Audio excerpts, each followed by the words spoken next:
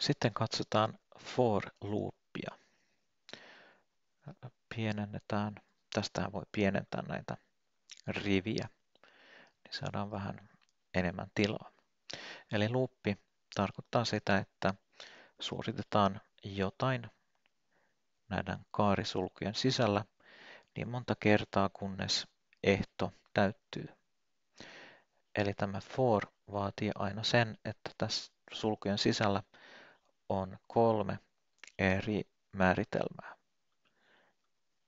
Ensin valitaan se muuttuja tai se laskuri ja se alkaa nollasta.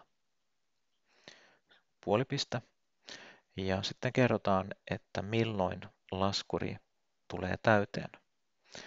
Ja tässä laskuri tulee täyteen, kun i on pienempi, pienempi tai yhtä suuri kuin kaksi.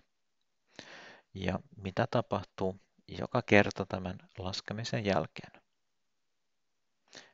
Plus plus tarkoittaa sitä, lisätään aina yksi kerrallaan. Kokeillaan. Console log ja halutaan nähdä, mikä on iin arvo. Ja ajetaan tämä. Ja 012. Ja jos tätä muutetaan, niin saamme useamman rivin. Jos tämä alkaa ykkösestä, yksi, kaksi ja päätyy taas viiteen. Nyt voimme yhdistää tämän,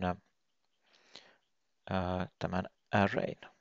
Eli voimme tähän kirjoittaa taas nollan, koska array alkaa aina nollasta ja se päättyy kahteen. Ja tähän voimme kirjoittaa seuraavasti person, koska kyse on tästä objektista. Ja array löytyy sieltä sisältä.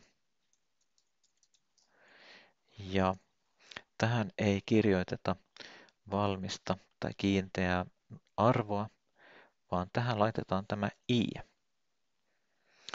Eli ensimmäisen kerran, kun tämä silmukka alkaa, niin i on yhtä kuin nolla. Eli tämä ottaa kaupungit ja ensimmäisen vaihtoehdon, eli Vaasan. Se kirjoittaa sen konsoliin. Seuraan kerran i on yksi ja kaupungit yksi on Kokkola ja viimeisen kerran i on kaksi ja kaupunkina tulee sitten Helsinki. Katsotaan, olinko oikeassa. Näin. Ja samalla tavalla tee oma versio tästä ja kyse voi olla jostain muusta kuin kaupungeista. Mutta käytä for loopia ja muista, täällä sisällä pitää olla kolme eri määritelmää ja puolipisteiden e-, erotuksella. Eli mistä arvosta aloitetaan, milloin päätetään ja mitä tapahtuu joka loopin jälkeen.